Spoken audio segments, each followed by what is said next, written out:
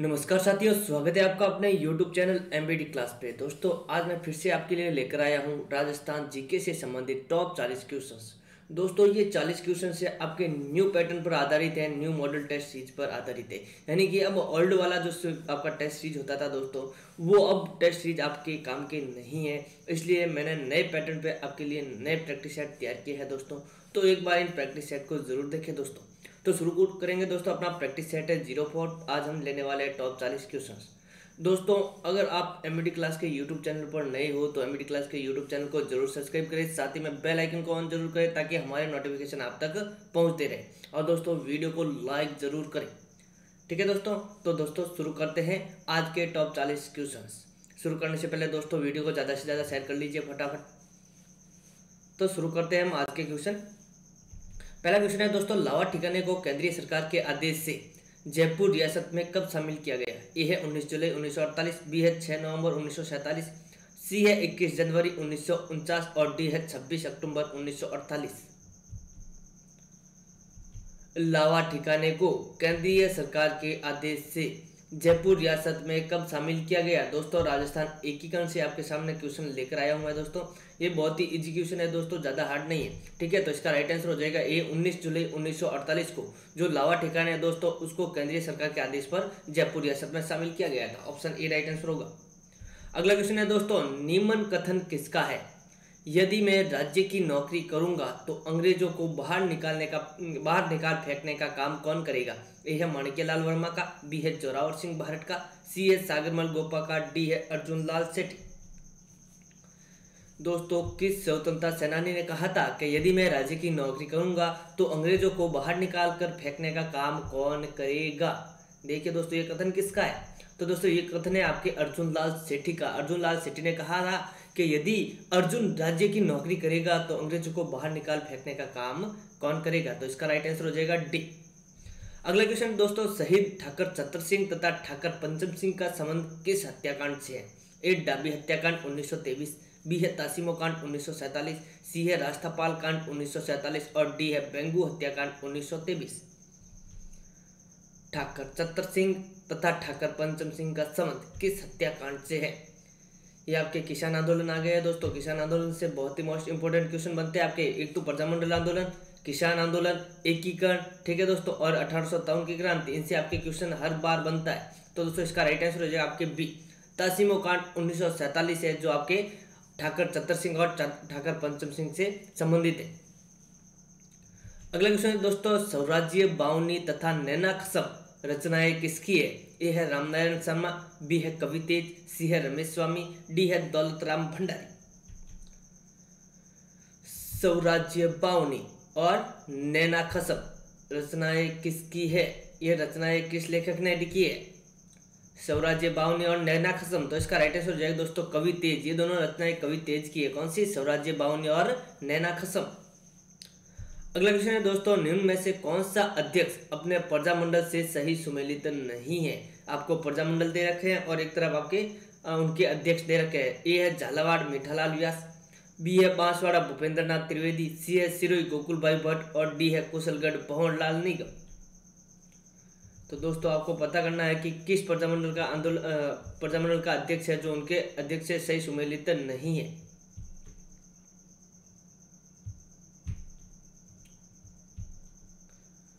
इसका right answer हो जाएगा दोस्तों, ए, झालावाड़। झालावाड़ के जो अध्यक्ष है दोस्तों, वो है आपके मांगिलाल भव्य, न कि मीठा लाल व्यास, ठीक है? तो इसका राइट आंसर ए हो जाएगा, झालावाड़ है, वो सही सुमेलित नहीं है। झालावाड़ के अध्यक्ष कौन थे? मांगीलाल भव्य। और दोस्तों मीठालाल व्यास है, ये आपके जैसलमेर प्रजामंडल के अध्यक्ष थे। अगला क्वेश्चन है दोस्तों अंग्रेज़ों के साथ अधीनस्थ पार्थक्य की नीति के तहत नवंबर 1817 ई में सर्वप्रथम संधि किस रियासत ने की थी? यह Kota, B Bharatpur, C Alwar, D Karauli. अंग्रेज़ों के साथ अधीनस्थ पार्थक्य की नीति के तहत नवंबर 1817 ई में सर्वप्रथम संधि किस रियासत ने की थी? बहुत ही इंपॉर्टेंट क्वेश्चन है दोस्तों। ठीक है? तो इसका राइट आंसर हो जाएगा दोस्तों आपके ऑप्शन डी करोली ने सर्वप्रथम अंग्रेज़ों से आपके अनिष्ट पार्थक्य की नीति के तहत संधि की थी, वो किसने की थी? करोली ने कब की थी? नवंबर अठारह में। अगले क्वेश्चन है दोस्तों कोमलगढ़ के युद्ध पंद्रह में मुगल सेना का नेतृत्व किसने किया था? ए है अब्दुल रहीम खाने खाना, बी है सुल्तान खां, सी है शाहजहां खां और डी है मान सिंह कचावा। कुंभलगढ़ का युद्ध कब लड़ा गया था? 1518 ईस्वी में किनके मध्य लड़ा गया था? तो दोस्तों, वो अकबर की सेना और महाराणा प्रताप के मध्य लड़ा गया था। तो दोस्तों, वहाँ पर आपके मुगल सेना का जो नेतृत्व किया था, वो किसने किया था? तो दोस्तों, वो किया था आपके शहबाज खान ने। ऑप्शन सी राइट आंसर होगा। अगला क्वेश्चन है दोस्तों, धौलपुर नगर की स्थापना किसके द्वारा की गई? ए है राजा विनायक देव, बी है धवल देव सी है हरदेव और डी है राम सिंह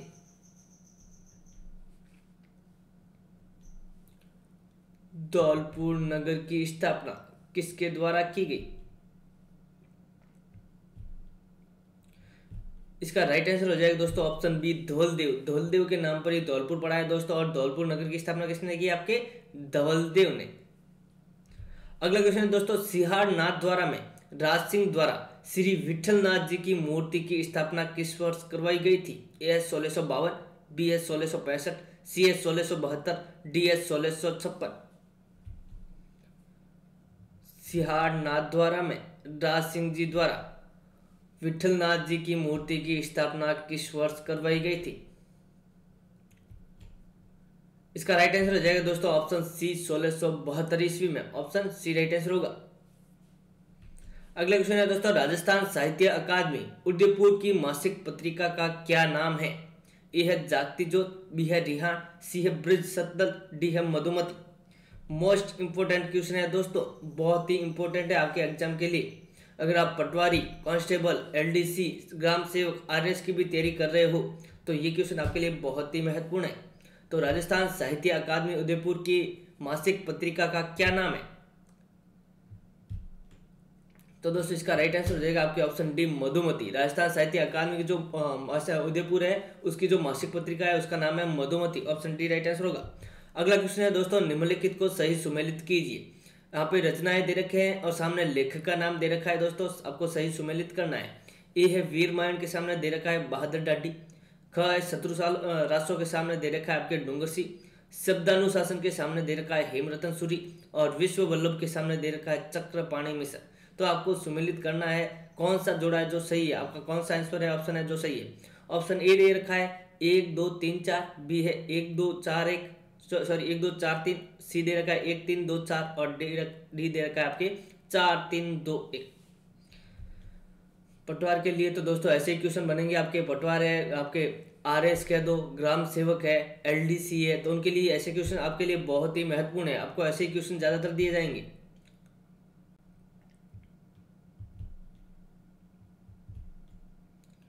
तो दोस्तों, इसका राइट आंसर जो है आपके ऑप्शन ए एक, दो, तीन, चार। यानी कि चारों के चारों आपके सही सुमेलित है वीरमाण के लेखक है बहादुर डाडी, शत्रुसाल रासो के लेखक है आपके डोंगर सिंह, शब्दानुशासन के लेखक है हेमरतन सूरी और विश्व वल्लभ के लेखक है आपके चक्रपाणी मिश्र। यानी इसका राइट आंसर हो जाएगा ए एक, दो, तीन, चार।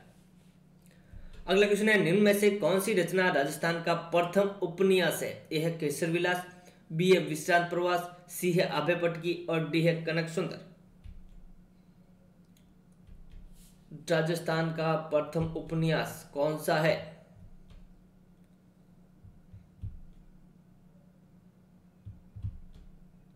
इसका राइट आंसर हो जाएगा दोस्तों ऑप्शन डी कनक सुंदर है, राजस्थान का प्रथम उपन्यास है। इसके लेखक हैं दोस्तों आपके शिवचंद भरतिया अगला क्वेश्चन है, राजस्थान में वरहत सीमांत ब्रंश क्षेत्र में कौन से ज़िले आते हैं? ए, उदयपुर, दौसा माधोपुर बी, है चित्तौड़गढ़, बांसवाड़ा, झालावाड़, सी, है चित्तौड़गढ़, बूंदी माधोपुर और डी, है उदयपुर, राजसमंद, सिरोही। वृहत सीमांत बनन क्षेत्र में कौन से ज़िले आते हैं? या जी बी आप कह सकते हो, ठीक है? जी बी एफ़ या वरंत वरत सीमांत बनन क्षेत्र में कौन से ज़िले आते हैं? तो दोस्तों, इसका राइट आंसर जो है आपके ऑप्शन सी चित्तौड़गढ़, बूंदी और सोई माधोपुर ये तीनों ज़िले आपके वरत सीमांत ब्रांच में आते हैं। अगले क्वेश्चन है, राजमहल टोक में किन नदियों का त्रिवेणी संगम बनता है। ए बनास सिप चंबल, बी है बनास, डाई, खारी, सी है बनास, चंबल, गंभीर और डी है माई, सोम, जखम। राजमहल टोक में किन नदियों का त्रिवेणी संगम बनता है। इसका राइट आंसर हो जाएगा दोस्तों ऑप्शन बी बनास डाई खारी का। आपके राजमहल टोक में त्रिवेणी संगम बनता है ऑप्शन बी अगला क्वेश्चन है, राजस्थान के किस क्षेत्र का दैनिक तापांतर सर्वाधिक रहता है? ए उत्तर पूर्वी क्षेत्र, बी है पश्चिमी क्षेत्र, सी है दक्षिणी पश्चिमी क्षेत्र, डी है उत्तरी क्षेत्र। राजस्थान के किस क्षेत्र का दैनिक तापांतर सर्वाधिक रहता है? इसका राइट आंसर हो जाएगा दोस्तों पश्चिमी क्षेत्र। पश्चिमी क्षेत्र का दैनिक तापांतर का सर्वाधिक रहने का क्या कारण है? तो दोस्तों, उसका कारण है आपके मरुस्थल। दोस्तों, रेत होती है, रेत की विशिष्ट उष्मा बहुत ही कम होती है, जो धीरे धीरे ठंडी होती है और धीरे धीरे गर्म होती है। तो उसकी जो दैनिक तापांतर है दोस्तों, वो सर्वाधिक रहता है। ठीक है, अगर ज़िले की बात की जाए दैनिक तापांतर की तो दैनिक तापांतर का तापांतर वाला सर्वाधिक तापांतर वाला जिला है आपके जैसलमेर। ठीक है तो पश्चिमी क्षेत्र है आपके दैनिक तापांतर वाला सर्वाधिक क्षेत्र। है अगला क्वेश्चन है, ब्लैक पोट्री कल्ला प्रसिद्ध है। A Jaipur Alwar C Bikaner D Kota black pottery blue pottery तो आपके जयपुर की प्रसिद्ध है। डबल कट है वो आपके डबल कट है, आप पॉटरी है वो आपकी अलवर की प्रसिद्ध है। और लाख की पॉटरी है, बीकानेर की प्रसिद्ध है। और जो ब्लैक पॉटरी है दोस्तों, ब्लैक पॉटरी आपके कोटा की प्रसिद्ध है। तो इसका राइट आंसर हो जाएगा आपके ऑप्शन डी कोटा। अगला क्वेश्चन है, रत्नागिरी कन्या उपवन कहाँ पर स्थित है? A, Jaipur, B, Udaipur, C, Jaisalmer, D, Jodhpur.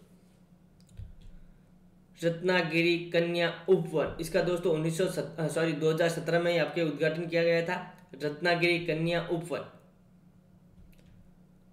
तो दोस्तों ये आपके भुआना भुआना कहाँ पे है? भुआना उदयपुर में। तो रत्नागिरी कन्या उपवन है, आपके भुआना उदयपुर में स्थित है। ऑप्शन बी राइट आंसर होगा, रत्नागिरी कन्या उपवन कहाँ पर स्थित है? उदयपुर। अगला क्वेश्चन है, एक ही व्यक्ति दो से अधिक राज्यों का राज्यपाल नियुक्त किया जा सकता है। यह व्यवस्था किस संविधान संशोधन द्वारा की गई? ए है प्रथम संविधान संशोधन, बी है सातवें संविधान संशोधन, सी है बयालीसवें संविधान संशोधन और डी है तिहत्तरवें संविधान संशोधन। एक ही व्यक्ति दो से अधिक राज्यों का राज्यपाल नियुक्त किया जा सकता है। यह व्यवस्था किस संविधान संशोधन द्वारा की गई? तो दोस्तों, इसका राइट आंसर हो जाएगा आपके ऑप्शन बी सांसदीय संविधान संशोधन, जो कि आपके उन्नीस सौ छप्पन में हुआ था दोस्तों।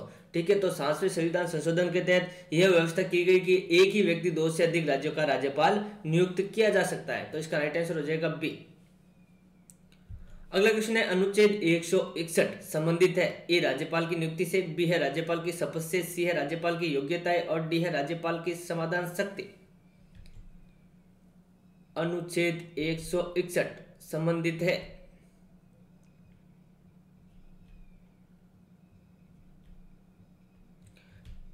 इसका राइट आंसर हो जाएगा दोस्तों ऑप्शन डी राज्यपाल की समाधान शक्ति है, वो आपके अनुच्छेद एक में दे रखी है। तो इसका राइट आंसर हो जाएगा डी अनुच्छेद एक किससे संबंधित है? राज्यपाल की समाधान शक्ति से। अगला क्वेश्चन है दोस्तों, मैक्सिकन लाल बहादुर मंगला आदि है। ए है गेहूँ की किस्में, बी है भेड़ों की नस्ल, सी है चावल की किस्में, डी है पशुओं की विदेशी नस्ल। मैक्सिकन, लाल बहादुर, मंगला आदि है। कुछ के मन में आ रहा होगा, मंगला दे रखा हो तो तेल का कुआ होगा। लेकिन दोस्तों, मंगला तेल का कुआ भी है, लेकिन यहाँ पर ये मंगला अलग है। तो मैक्सिकन, लाल बहादुर, मंगला, ये आपके गेहूँ की किस्में है। ऑप्शन ए राइट आंसर होगा, गेहूँ की किस्में। अगला क्वेश्चन है, निम्न में से कौन सा सही सुमेलित नहीं है? ए है सर्वाधिक लिंगानुपात, डूंगरपुर। बी है सर्वाधिक जनसंख्या घनत्व, जयपुर, सी है सर्वाधिक साक्षरता, जालोर और डी है सर्वाधिक वृद्धि दर, बाड़मेर। तो निम्न में से कौन सा सही सुमेलित नहीं है? ये आपके 2011 की जनगणना में से क्वेश्चन बना है दोस्तों। तो आपको पता होना चाहिए, सर्वाधिक लिंगानुपात किस ज़िले का है, घनत्व किस ज़िले का है, साक्षरता किस ज़िले की है, वर्धित सर्वाधिक किस ज़िले का है। तो दोस्तों, इस पर आपका राइट आंसर हो जाएगा ऑप्शन सी सर्वाधिक साक्षरता। सर्वाधिक साक्षरता है दोस्तों आपके कोटा की है। किसकी है? कोटा की। जबकि जालोर की सबसे कम है, न्यूनतम साक्षरता है वो आपके जालोर की है। तो इसका राइट आंसर हो जाएगा सी अगला क्वेश्चन है, जखराना नस्ल की बकरियों का मूल स्थान है। A, Jaisalmer, B, Alwar, C, Bikaner, D, Jhalawar. Jakhrana नस्ल की बकरियों का मूल स्थान है। तो दोस्तों जखरान नस्ल की बकरी कहाँ पाई जाती है? तो दोस्तों ये आपके अलवर ज़िले में पाई जाती है और इनका मूल स्थान कौन सा है? अलवर है। तो इसका राइट आंसर हो जाएगा बी जखराना नस्ल की बकरिया का मूल स्थान कौन सा है? अलवर है। ऑप्शन बी राइट आंसर होगा। अगला क्वेश्चन है ऑपरेशन फ्लड कार्यक्रम का प्रारंभ किस वर्ष किया गया था? ए है उन्नीस सौ सड़सठ बी है उन्नीस सौ अड़सठ सी है उन्नीस सौ सत्तर और डी है उन्नीस सौ पचहत्तर। ऑपरेशन फ्लड कार्यक्रम। तो दोस्तों सबसे पहले आपको पता होना चाहिए ऑपरेशन फ्लड कार्यक्रम किससे संबंधित है? तो दोस्तों, ये संबंधित है आपके दुग्ध क्रांति से। दुग्ध क्रांति है वो आपके क्या मतलब ऑपरेशन फ्लड है, दुग्ध क्रांति से संबंधित है और दूध क्रांति के जो जनक है दोस्तों, वो है आपके वर्गीज कुरियन। कौन है? वर्गीज कुरियन। तो दोस्तों दूध क्रांति कह दो या ऑपरेशन फ्लड कार्यक्रम, ये शुरू किया गया था आपके 1970 में। ऑप्शन सी राइट आंसर होगा। अगला क्वेश्चन है, इंदिरा गांधी नहर परियोजना से निकलने वाली प्रमुख शाखाओं में शाखाओं में निम्न में से कौन सा युग्म सही सुमेलित नहीं है? यहाँ भी आपको दोस्तों, आपको शाखा दे रखी है और सामने संबंधित जिला दे रखा है। कौन सी शाखा किस ज़िले में स्थित है? तो दोस्तों, सबसे पहले दे रखी है आपकी रावसर शाखा, गंगानगर। बी है दातो शाखा, बीकानेर। सी है शहीद बीरबल शाखा, जैसलमेर। और डी है पुगल शाखा, बीकानेर। तो दोस्तों, इसमें आपको बताना है कौन सा युग में कौन सी शाखा है जो आपके सही ज़िले से सुमेलित नहीं है?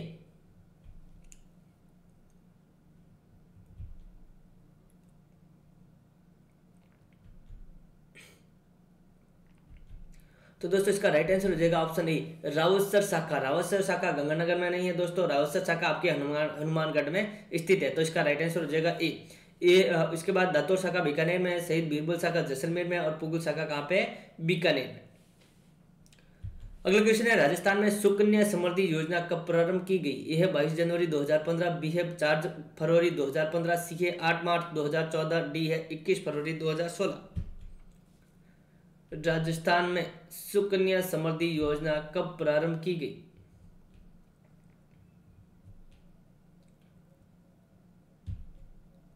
इसका राइट आंसर हो जाएगा दोस्तों आपके ऑप्शन बी चार फरवरी 2015 को आपके सुकन्या समृद्धि योजना प्रारंभ की गई।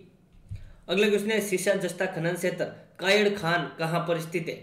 ए है अजमेर बी उदयपुर सी राजसमंद और डी है भीलवाड़ा। शीशा जस्ता का जो खनन क्षेत्र है, खान है दोस्तों, कायड़ खान, किस ज़िले में स्थित है?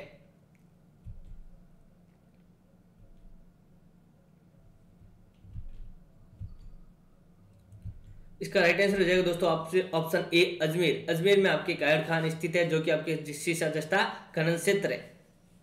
अगला क्वेश्चन है, गलत युग्म को पहचानिए। आपके ऑप्शन कहना मतलब खनिज दे रखा है और संबंधित खान या खनन क्षेत्र दे रखा है। तो ए दे रखा है जिप्सम सलादीपुरा, बी है एस्बेस्टस ऋषभदेव, सी है हीरा केसरपुरा, डी है अब्रक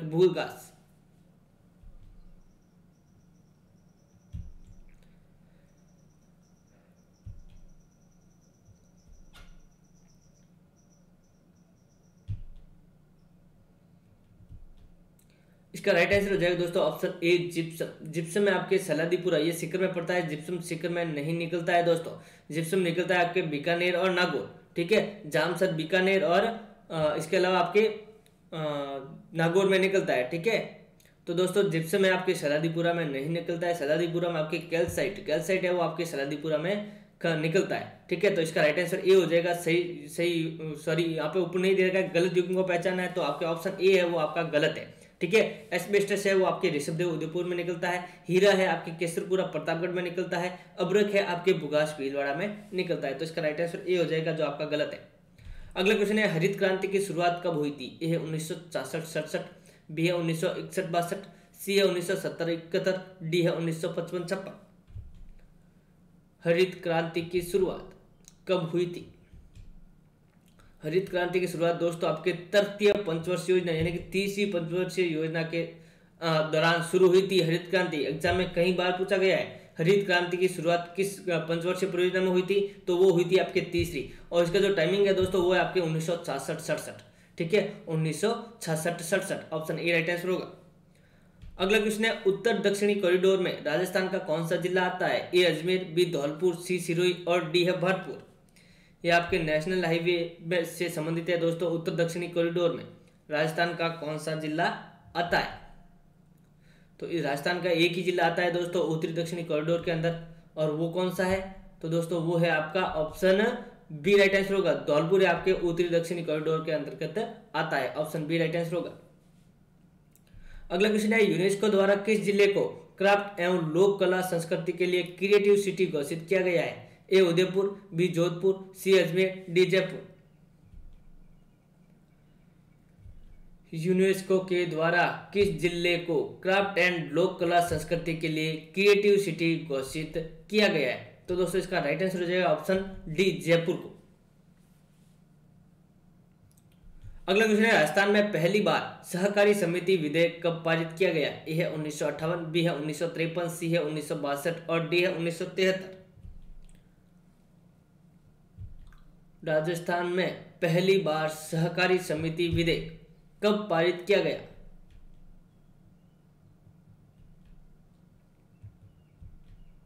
इसका राइट आंसर हो जाएगा ऑप्शन बी उन्नीस सौ तिरपन में। ऑप्शन बी राइट आंसर होगा। अगले क्वेश्चन है, किस पंचवर्षीय योजना के तहत सभी जिलों में जिला उद्योग केंद्रों की स्थापना की गई? यह प्रथम, बी तृतीय, सी पंचम और डी सप्तम। किस पंचवर्षीय योजना के तहत सभी जिलों में जिला उद्योग केंद्रों की स्थापना की गई, यानी कि जिला उद्योग केंद्रों की स्थापना किस पंचवर्षीय योजना के तहत की गई। तो दोस्तों, इसका राइट आंसर हो जाएगा आपके ऑप्शन सी पांचवी पंचवर्षीय योजना या पंचम पंचवर्षीय योजना के तहत राज्य के सभी जिलों में जिला उद्योग केंद्रों की स्थापना की गई। अगला क्वेश्चन है, सुरसुरा अजमेर से किस लोक देवता का संबंध है? A, Ramdev ji, B, Babu ji, C, Teja ji, D है, देव नारायण जी।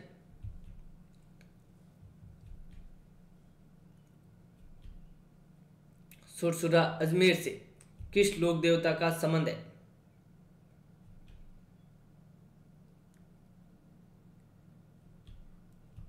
इसका राइट आंसर हो जाएगा दोस्तों आपके ऑप्शन सी तेजा जी का। सुरसुरा है, अजमेर, सिंदरिया, अजमेर, बांसी, दुगारी, बूंदी, ये आपके सारे स्थान किससे संबंधित है? तेजा जी के, तेजा जी से संबंधित है, तेजा जी के मंदिर बने हुए। अगला क्वेश्चन है, तेमड़ी पर्वत किस ज़िले में स्थित है? A Sirohi B, Ajmer, C, Udaipur, D, Jaisalmer.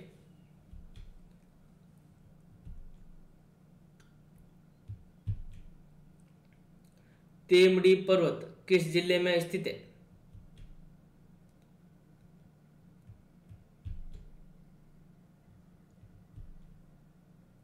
इसका राइट आंसर हो जाएगा दोस्तों ऑप्शन डी जैसलमेर में। तेमड़ी पर्वत पर दोस्तों आपके अवध माता का मंदिर बना हुआ है। कहाँ पे? जैसलमेर में। अगला क्वेश्चन है, किस लोक देवी की आराधना में लांगुरिया गीत गाए जाते हैं? ए, शीतला माता, बी कैला देवी सी जम्बुआई माता और डी एस शीला देवी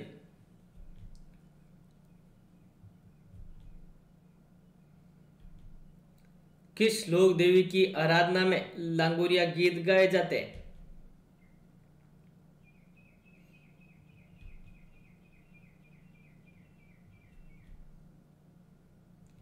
इसका राइट आंसर हो जाएगा बी कैला देवी। किस लोक देवी की आराधना में लांगोरिया गीत गाए जाते हैं? ऑप्शन बी राइट आंसर होगा कैला देवी के। कैला देवी का मंदिर आपके करौली में स्थित है। यादव राजवंश की कुल देवी है कैला देवी। अगला क्वेश्चन है, संत पीपा का प्रमुख मंदिर स्थित है। ए है टोडा सिंह, बी है गागरौन, सी है पीपासर गाँव, डी है समदड़ी गाँव। संत पीपा का प्रमुख मंदिर स्थित है।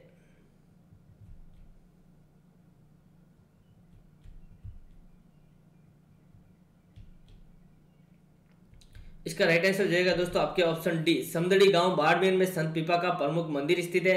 संत पीपा की छतरी है दोस्तों गागरौन दुर्ग में स्थित है और संत पीपा की गुफा है दोस्तों, वो आपकी टोडा राय सिंह टोक में स्थित है। तो तीनों बातें आपको याद रखनी है। मंदिर, समदड़ी गाँव, बाड़मेर, अब छतरी कहाँ पे गागरौन दुर्ग और गुफा है टोडा राय सिंह टोक। अगला क्वेश्चन है, रावत भाटा परमाणु शक्ति ग्रह की स्थापना किस देश के सहयोग से की गई? ए है रूस, बी है यूएसए सी है कनाडा डी है जर्मनी। रावत भाटा परमाणु शक्ति ग्रह केंद्र की स्थापना कब की गई? उन्नीस सौ बहत्तर में की गई थी दोस्तों।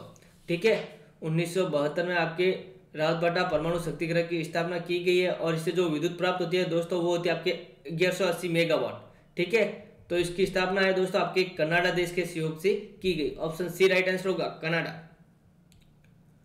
अगला क्वेश्चन है, रामनवमी का त्यौहार मनाया जाता है। ए है भाद्रपद शुक्ल नवमी बी है कार्तिक शुक्ल नवमी सी है चैत्र शुक्ल नवमी डी है वैशाख शुक्ल नवमी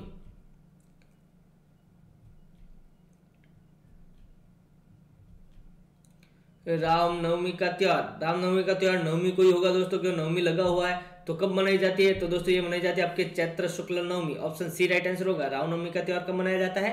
चैत्र शुक्ल नवमी अगला क्वेश्चन है, श्री बलदेव पशु मेला किस ज़िले में आयोजित होता है? A, Nagaur, B, Bharatpur, C, Barmer, D, Karauli. Shri Baldev पशु मेला किस ज़िले में आयोजित होता है?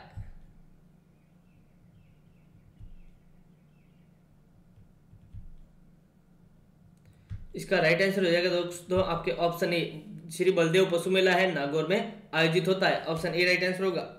सर्वाधिक पशु मेले दोस्तों, आपके नागौर ज़िले में ही आयोजित होते हैं। जबकि सबसे प्राचीन पशु मेला है दोस्तों, वो है आपका तिलवाड़ा। तिलवाड़ा पशु मेला जो कि आपके बाड़मेर में आयोजित होता है। लास्ट क्वेश्चन है दोस्तों, राजस्थान में सर्वप्रथम किस क्षेत्र में दास प्रथा पर रोक लगाई गई थी? ए है ढूढ़ाड़ B Marwar, C Mewar, D है हाड़ोती। दास प्रथा पर सर्वप्रथम रोक किस क्षेत्र में लगाई गई थी दोस्तों? तो दोस्तों दास प्रताप पर सर्वप्रथम रोक लगी हुई थी आपके कोटा और बूंदी में। कहाँ पे? कोटा और बूंदी में। और कोटा और बूंदी आपके हड़ौती क्षेत्र में आते हैं। इसका राइट आंसर हो जाएगा डी, हड़ौती क्षेत्र में। तो दोस्तों, ये थे आज के आपके टॉप चालीस क्वेश्चंस उम्मीद करता हूँ आपकी जो क्वेश्चन है, उसका लेवल अच्छा लगा होगा। दोस्तों, अगर वीडियो अच्छा लगा हो तो लाइक ज़रूर करें, अपने मित्रों के साथ ज़्यादा से ज़्यादा शेयर करें। अगर आप हमारे साथ जुड़े रहना चाहते हैं तो दोस्तों इंस्टाग्राम पे एम क्लास नाम से हमारा ग्रुप बना हुआ है। वहाँ पे आप फॉलो कर सकते हैं और एम क्लास के नाम से टेलीग्राम चैनल भी बन रखा है, वहाँ पर भी आप फॉलो कर सकते हैं। दोस्तों दोस्तों, आज के लिए इतना ही। मिलते हैं नेक्स्ट प्रैक्टिस सेट के साथ। आज के लिए धन्यवाद।